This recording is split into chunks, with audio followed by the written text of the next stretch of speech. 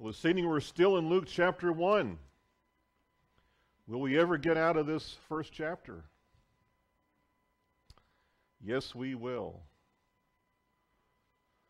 All right. Tonight, the birth of John. The birth of John the Baptist, looking at his beginning tonight and trusted some facets and things about even his pre birth will be a help and a blessing to us tonight. We're in Luke chapter 1. We're looking at verses 56 to 66. We'll read it and then we'll go to prayer and jump into the message tonight. Luke chapter 1, beginning in verse number 56. And Mary abode with her about three months and returned to her own house. Now Elizabeth's full time came that she should be delivered, and she brought forth a son. And her neighbors and her cousins heard how the Lord had showed great mercy upon her, and they rejoiced with her. And it came to pass that on the eighth day they came to circumcise the child. And they called him Zacharias, after the name of his father. And his mother answered and said, Not so but he shall be called John.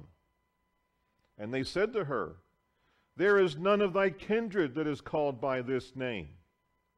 And they made signs to his father how he would have him called. And he asked for a writing tablet and wrote, saying, His name is John. And they marveled all. And his mouth was opened immediately, and his tongue loosed, and he spake and praised God and fear came on all that dwelt round about them. and all these sayings were noised abroad throughout all the hill country of Judea. And all they that heard them laid them up in their hearts, saying, What manner of child shall this be?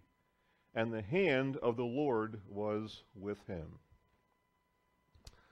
Let us pray. Father, thank you tonight for this passage of Scripture. It's neat to see how uh, Dr. Luke crams so much in such a, a, few lines, but there's a lot here. And we ask, Lord, tonight that you would uh, speak to us through this word, this passage of Scripture. Uh, may we grow, may we become strong. Uh, may there be something here tonight that is going to really uh, get us going uh, for you. we ask, Lord, that you would speak to us here by way of technology and then those who will listen in the future. It's so marvelous uh, the way you have organized things today and how much the word can get out. And so we give you praise, give you thanksgiving for that. I ask you, Holy Spirit, to fill me now for this message and trust and depend in you tonight. Uh, I can't do this without you. Only you can do this. And so we trust, we depend in you and in you alone. So give us a great time now in this passage of Scripture. It is your word, it is eternal truth. Bless it to our hearts, we pray in Jesus' name. Amen. Well, John the Baptist is one of those guys that is uh, amazing in that there are accounts of the births of great people that we've heard about in the past. Of course, the even greater account of a birth is our Lord and Savior Jesus Christ. But we do know about John is that he was destined, and we know that he was going to be a great man of God. And so John is way up on that list of births of great people who were going to go out and do great things for God. And so he is, John the Baptist, the forerunner of the Messiah. In our first point tonight, we're going to look at John's birth. John's birth in verses 56 through 58. I'm going to reread these verses again as we go. And there's a, a, neat point here as we get started with these verses, 56 through 58. It said, where Luke says, And Mary abode with her about three months and returned to her own house. Now Elizabeth's full time came that she should be delivered, and she brought forth a son. And her neighbors and her cousins heard how the Lord had showed great mercy upon her, and they rejoiced with her. Now, here's the question Did Mary take off and go home before John was born? What do you think? I don't think so. I don't know so. But I don't think so. Let me just throw a question out here to you, to you mothers. All right? Let's say you were with somebody special in your family for three months, and this person is about to give birth, and uh, she has now gone into labor. Would you say, Oh, I, am sorry, but I got to go home now? Do you think that's what you would? the men are laughing more than the ladies. I don't think she would have done that. I really don't. We don't know that for sure. But uh, one of the guys that, that I, I read said that uh, says that uh, this was Luke's way of wrapping up the story of Mary here in verse 56. He said he's just wrapping it up. It doesn't mean that she wasn't there for the birth. So I find that interesting. So my now this is not the gospel, but I, I find it hard to believe that Mary would take off and run home right when John was going to be born. So you, you can believe whatever you want, and I will too on that. All right? But that's uh, interesting about the birth of John. Was Mary still there? Well, we know that she went to visit Elizabeth at the beginning of her own pregnancy, and Elizabeth was already six months along with John. And so there's a three month period that's going to go by. And so let's say that, that, uh, that Mary was still there when John was born. Wouldn't that have been neat if uh, whoever was there and helping with the birth would have said to Mary, Here, you give John to his mother? I mean, you just spent three months here. Why don't, why don't you do that? Why don't you give the baby to his mother for the first time? That would have been a neat thing. And I'm sure they had uh, some really special times there. And if Mary was present there, she witnessed joy unspeakable this was a very, very happy occasion and would be as the days go by.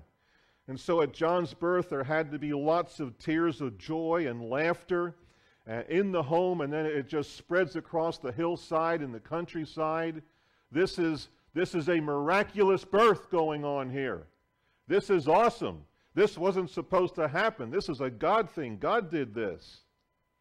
And so Luke tells us here in these first three verses that we're looking at that Elizabeth's neighbors and relatives heard that Jehovah God had shown her great mercy.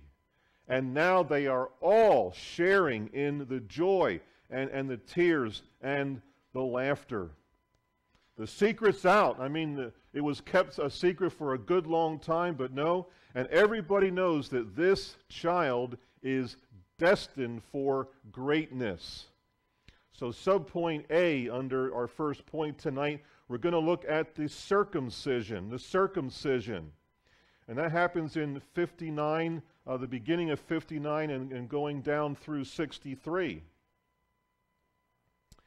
And, and it came to pass that on the eighth day they came to circumcise the child. I think I'll just stop right there with that. The circumcision. Well, where did all this start? Well, if you go way back to Genesis chapter 17, verse 12, that's where God told Abraham, You're going to circumcise every Hebrew male, and you're going to do it eight days after they're born. That's what's going to happen. It was then formalized in the Mosaic law in Leviticus. So the whole family came together for this happy occasion. However, the circumcision was not a happy occasion for John. But everybody else, it's, a, it's like a, a, a wonderful get together. We're getting the family together for this, and it's going to be great. So circumcision would mark the boy with the sign of the covenant and incorporate him into the nation of Israel. This also obligated him to live under the commands of the law and share in the blessings of God's chosen people. So here's the little John, the baby. He's crying out in pain. Zacharias is cleaning his knife, and there were cheers all around. This is a for everybody but John, this is a very, very happy occasion, the circumcision of the little boy. Letter B, naming, the naming of John. The naming. We go to uh, verse 59b and following. And they called his name Zacharias after the name of his father. And his mother answered and said, Not so. He shall be called John. And they said unto her, There is none of thy kindred that is called by this name. And they made signs to his father how he would have him to be called. And he asked for a writing tablet and wrote, saying, His name is John. And they marveled all. The naming. Well, the naming of the baby was also a very enlightening moment. This, this is a big deal here, the birth of John, in many ways. And here we come now to the naming of this baby boy. Everyone assumes, well, look, we already have Big Zach, now we're going to have Little Zach. That's how you do it. That's the way you did it in the Bible times. Big Zach, Little Zach. That's the way it is. Well, Elizabeth says, not so. And in the Greek rendering, it, it really says, no, you don't. no, you don't. See, all the, all the cousins and the family are all gathered around, and, and they're all trying to name the baby. No, you don't. No, that's not the way this is.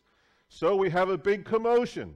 Isn't that great? Family get together, now we have a big commotion about the name of the little boy. Isn't it great? Kind of like a lot of folks at Thanksgiving dinner where you have uh, the Republicans and the Democrats all seated at the same table. That's not a happy occasion all the time. So there's a big commotion here about the naming of the boy. Got to make a decision. So daddy writes on the tablet, his name is John. Now, of course, all the family and friends that are there, they didn't know that Gabriel has been there. Gabriel has come and Gabriel has told them what they are to name this boy. Specific instructions. They were not clued in on that. And so for us today, it's kind of hard to, to realize how difficult this was because they always used a name for a child that was already in the family line. All right, now a lot of people still do that uh, to this day, but for them, th- this is the way you did it. This is how you did it in the land of Israel, but not on this occasion. God had other things in mind. So the name John is going to continue to stir things up in their imaginations. I mean, this, this whole get together is going to soon be over. They're going to go back to where they live, and they're going to keep thinking about this. They're going to keep thinking about the name of this little baby boy. Letter C Praise. Praise. Verse number 64. Got a lot of praise going on here. Uh, and his mouth, this is Zacharias, and his mouth was opened immediately. Huh. His name is John, and boom, he can talk again. And his tongue was loosed, and he spake and praised God. That is what it was about. It was a praise God time. So the relatives and the neighbors have just recovered from one heart attack about the naming of, of the boy, and, and, now we got a second heart attack coming. Here he is, he's talking again. He hasn't talked in nine months, and here we go. And what is his subject? Praise to God. Praise to God. That is what it is all about. He is, th- this man is a believing believer and he's had nine months to become a better believer. He's been thinking, and he's been growing, and he's been meditating, and he's been studying. He has had lots of time to grow in his faith, and this is a great moment for him. I mean, after all, he's been in jail for nine months, and now he is free. And what does he do? He praises God. He doesn't get worked up, he doesn't get mad. Why do you do this to me, Lord? No, not at all. He praises the Lord. And then letter D, we see the response. The response in verses 65 and 66. And fear came on all that dwelt round about them, and all these sayings were noised abroad throughout all the hill country of Judea.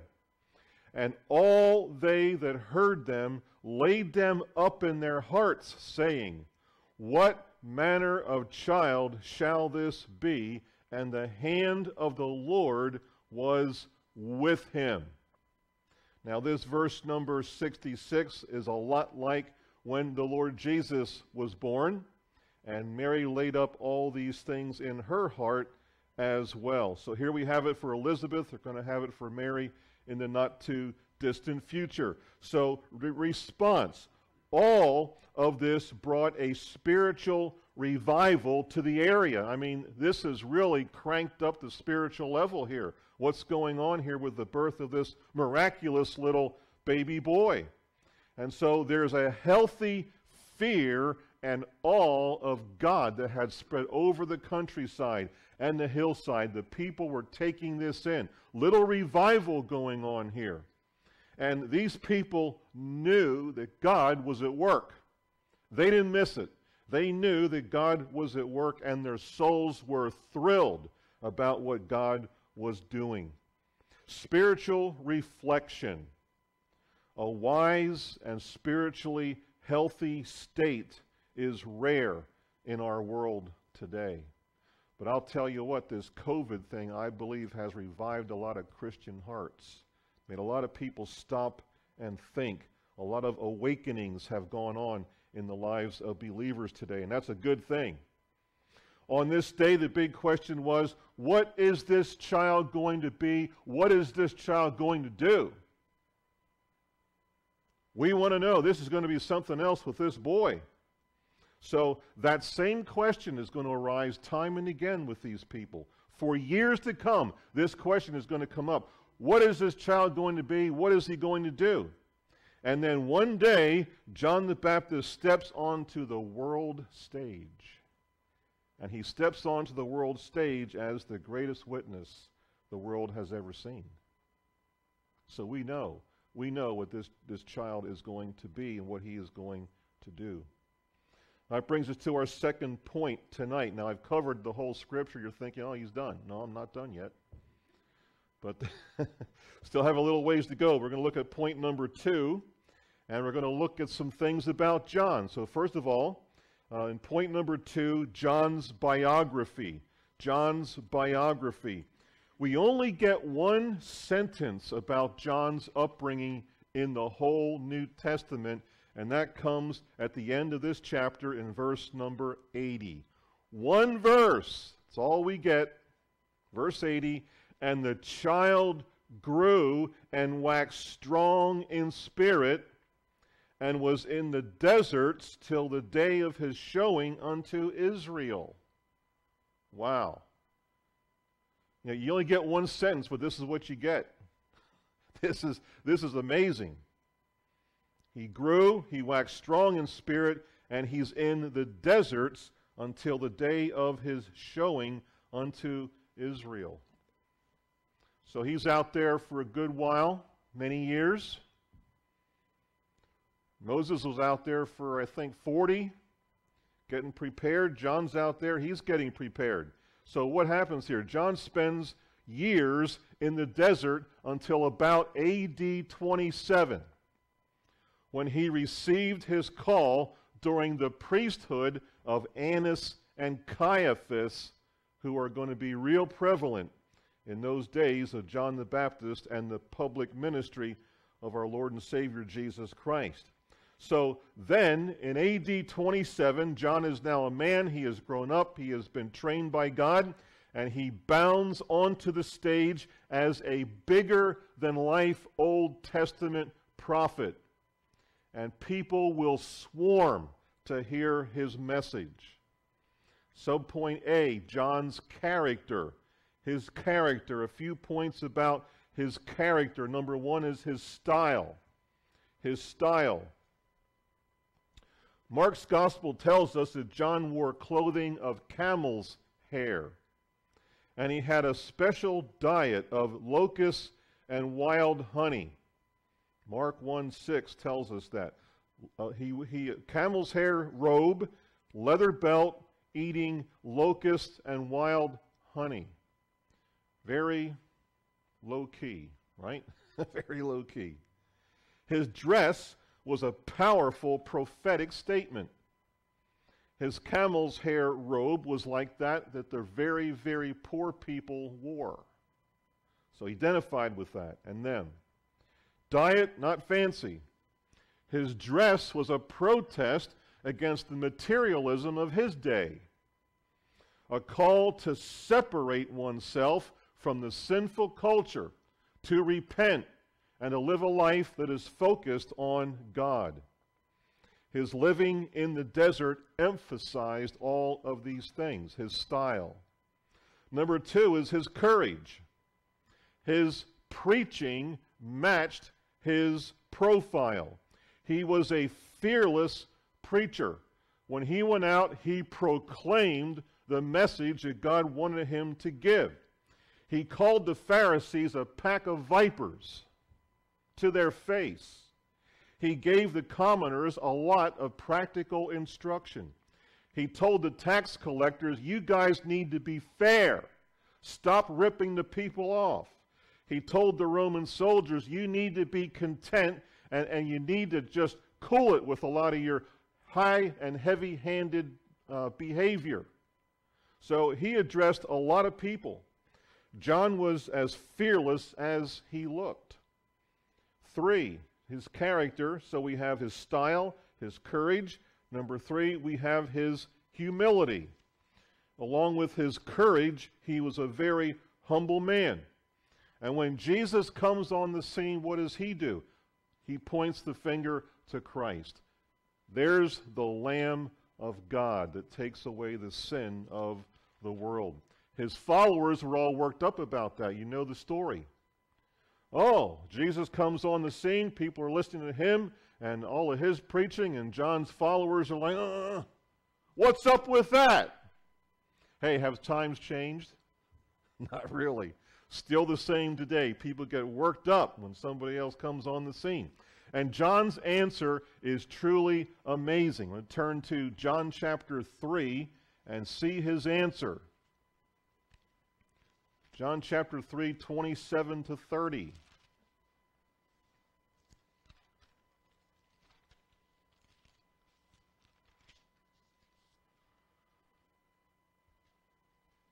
In John 3, well, let's go back to 25 and catch the things that I just talked about. Then there arose a question between some of John's disciples and the Jews about purifying.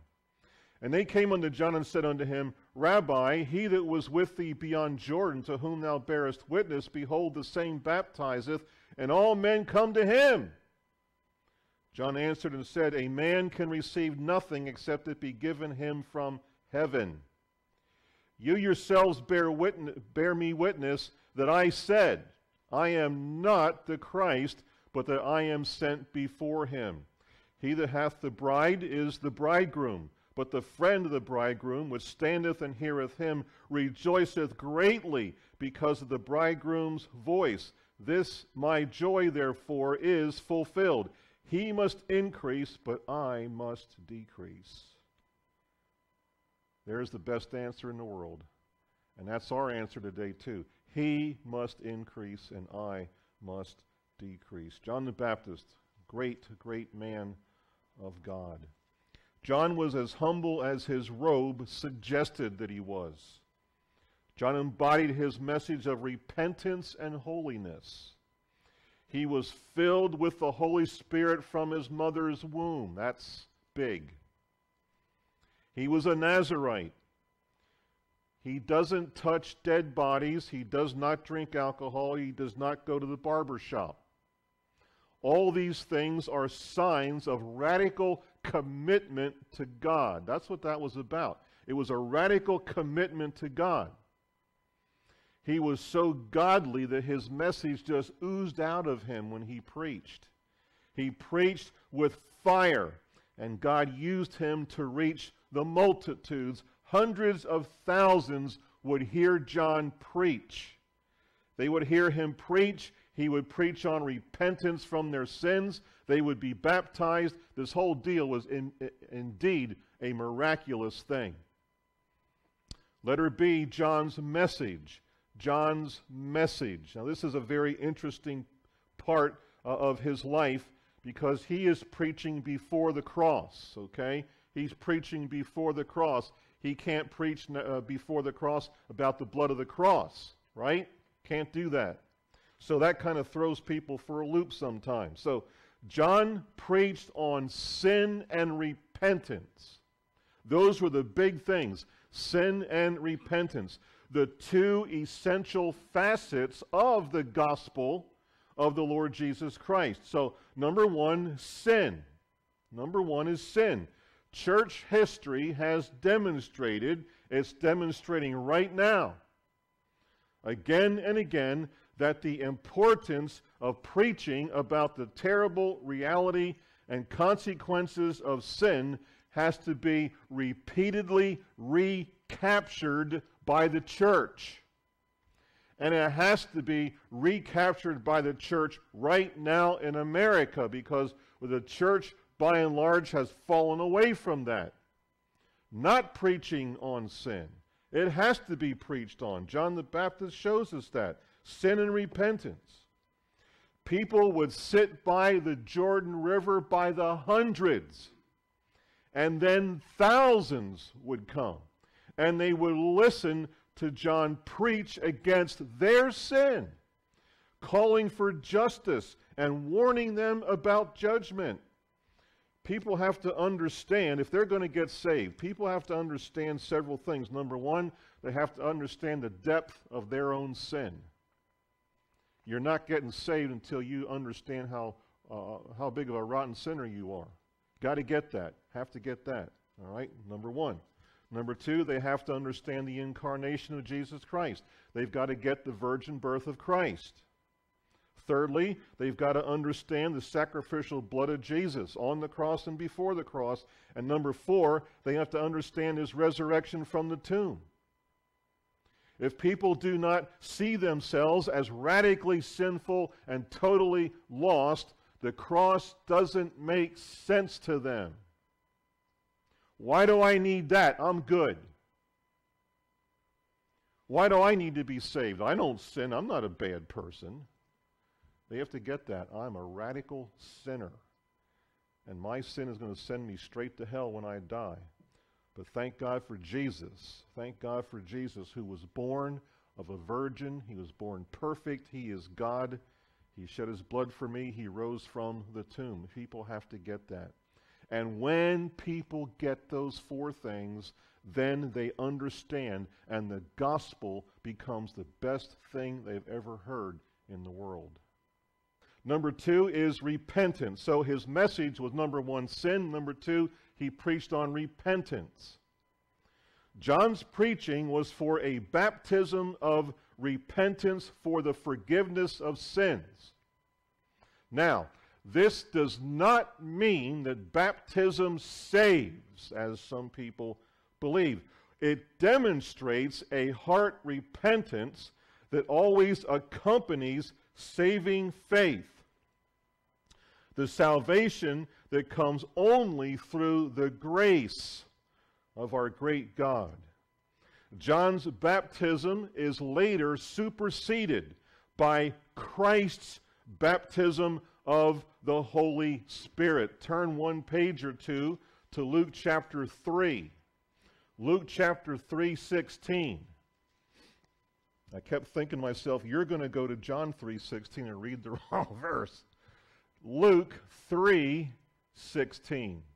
John answered, saying unto them all, I indeed baptize you with water, but one mightier than I cometh, the latchet of whose shoes I am not worthy to unloose. He shall baptize you with the Holy Ghost and with fire. So John is the forerunner, and he's just he, he's doing his part. He's doing what he's supposed to do, leading up to the Messiah himself really coming and him providing salvation. So, nevertheless, John's preaching coupled the conviction of sin with the moral necessity of repentance. Here's a, a quick, short, neat definition of repentance a volitional turning away from sin. That's what repentance is a volitional turning away from sin. Those who are born again repent. And one evidence of their salvation is this ongoing repentance. We don't repent one time, we keep on repenting. We keep turning away from our sin. The bottom line when the gospel is preached, it must include both the preaching of sin and judgment and the necessity of a faith that leads to repentance. When an individual is convicted of their sins and is willing to turn away from their sins, the next step is to humbly trust Christ alone for their salvation, believing in His shed blood and His resurrection.